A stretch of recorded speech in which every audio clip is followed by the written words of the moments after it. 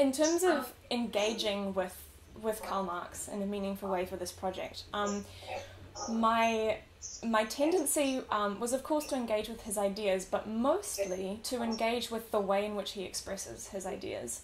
Because with any philosopher, there's, um, you know, there are the um, tenets that they put forth, but then there's also the um, the pattern or the process which, which with which they communicate um, those ideas.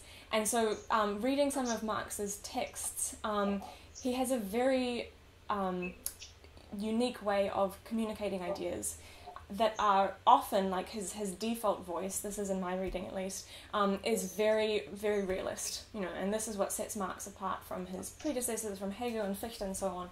Um, he's he's a realist. He's a pragmatist. He likes to look at documentary evidence and then like develop a philosophy out of the the evidence at hand rather than out of some kind of ideal um, hypothesis.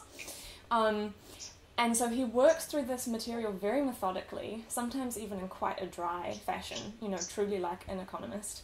Um, but then there'll be these sudden bursts where he'll um, dramatize an individual and almost like ventriloquize them as a kind of um, puppet or protagonist in his argument. Often, this person is either the proletariat, the worker, or is the capitalist, um, you know, the factory owner, or so on.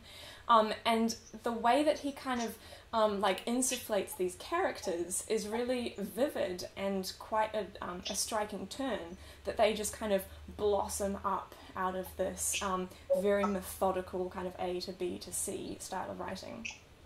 And this sort of struck me as an interesting idea for um, a form and an approach to music.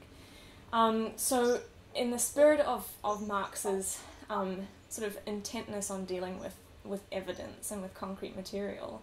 Um, I wanted this piece to be an examination of musical labour. So, not so much a composition that existed to um, showcase my ideas as a composer, um, and that would then call upon the labour of musical performers to realise that, um, or to produce that, to reproduce that. Um, I wanted this piece to kind of um, be a chance for musical performers, in other words, the musicians of BCMG, um, to comment on and reflect on the nature of their own labour.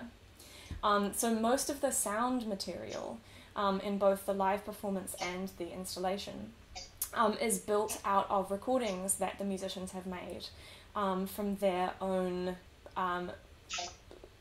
private practice, essentially um, which involves you know one-on-one time in the studio rehearsing, also um, group performance, um, some little snippets of conversation, um, and and then these have all been um, sort of sliced up into almost data points, um, tiny uh, two-second clips that give kind of a sonic flash without without being without necessarily like inviting you to um, come into the world. It's really just like a postcard um, of a moment in time, and then um, piecing together all these little postcards, sort of try to create a tapestry of like a week in the life of um, of a working musician and what the quality and what the experience of that work might be like.